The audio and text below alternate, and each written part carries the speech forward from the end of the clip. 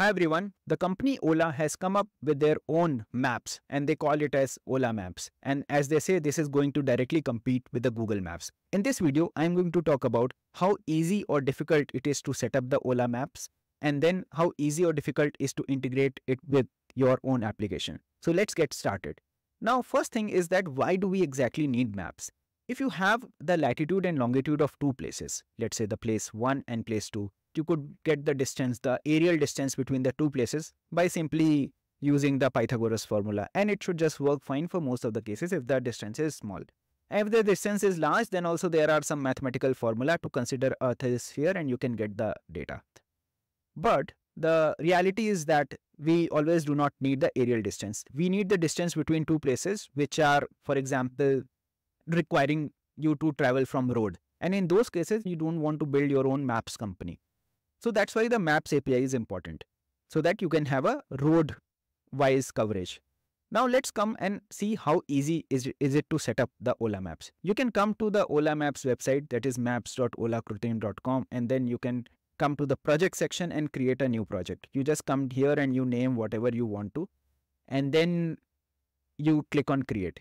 Once you click on create, there is one more thing you need to do, which is that you need to link the subscription. You come here, click on this freemium plan and click on link. Once you do that, then your project will be linked with the subscription. Then you come here, you will get API key, client ID and client secret. So the setup is done. Setup is extremely simple. You don't have to do much.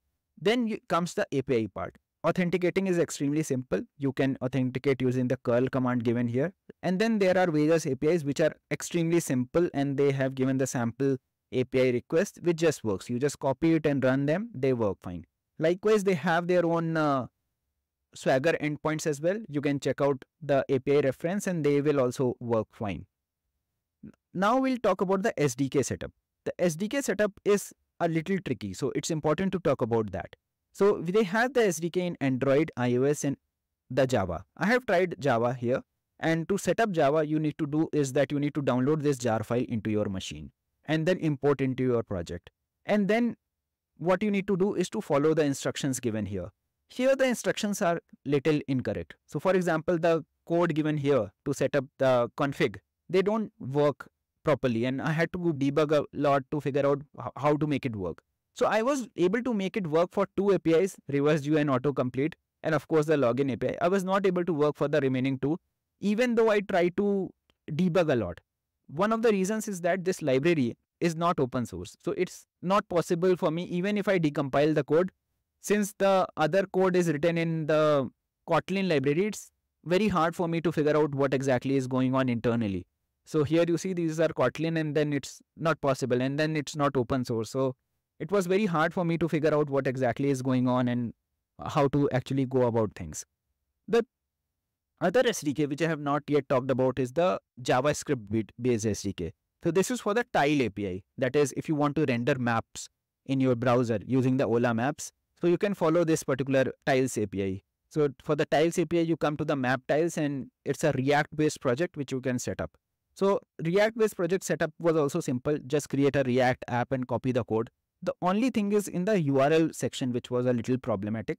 So for example, here, let me show that instead of having just one line of code, I had to tweak the code a little. That is URL equal to URL plus question mark and ampersand to make it work. It was not working directly for me. Uh, just a little tweak, just a question mark to add the request, but I had to add ampersand as well in one of the cases. So once you do that, you can actually zoom in and zoom out using the Ola maps and you can zoom in the places and see the places, etc. One interesting thing is that other places are not uh, zoomable, but I think within India it is perfect and I don't see any problem here. So in short, what I will say is that the whole thing is awesome. That uh, you can actually go ahead and set up very easily your project. You can actually uh, follow the APIs very easily. In fact, the Postman collection, which I'll share, that will help you also. The only thing which could be made better is the SDK part. That's a Java SDK, which is not updated. So my opinion is that having more and more computations generally help. Uh, we as a developer, we get more options to do things. I have not tried Google uh, Maps APIs, but I have talked to many people who have used it and I know that those APIs are also very easy to integrate.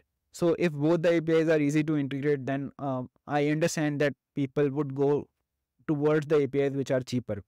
Uh, completely understandable, and that of course benefits we as a user. So yeah, uh, let's see how things turn around. Um, I actually tried this API and uh, it didn't take me much time to try everything. So you can also try out, but or you can just see how things work.